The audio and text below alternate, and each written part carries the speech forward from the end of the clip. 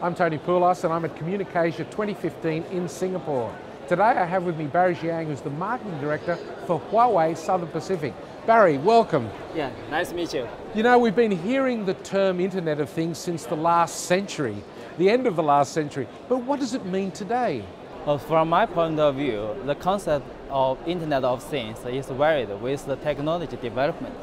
And it has four characters at this moment. So first is the identity. That is the original idea for the Internet of Things. So second is connection. So everything it should be connected and communicate with each other. That is the best understanding now. Third one is cloud. So all the data should be yeah, sent to the data and with the data analysis and data uh, processing. So the fourth one is the control. That is the intelligent part. So that is the way we go to the smart city, smart nation, and smart world. Uh, well, it's interesting because every day there's a new device or sensor or something being announced that will be part of the Internet of Things. But how important are the networks in the scheme of things? So I think at this moment, the network is still a pipe. But I do believe in the future, for example, the 5G network will be a real platform which is programmable yeah, to let everybody can, for example, the operator, consumer, partner, and the developer to enable all of the applications, sensors, and the device. And part of this, of course, will be mobile networks, an integral part. How important is the role of mobile networks in the Internet of Things?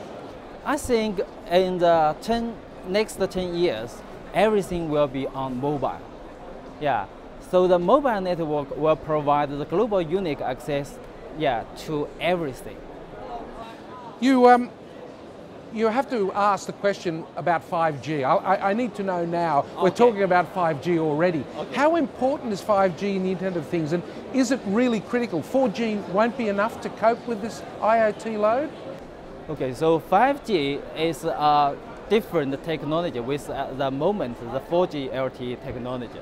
It has a new uh, architecture, new operation, and a new air interface to provide the massive connections, massive uh, capacity, and all of this, something is not happened, could be happened at the current uh, 4G LTE network.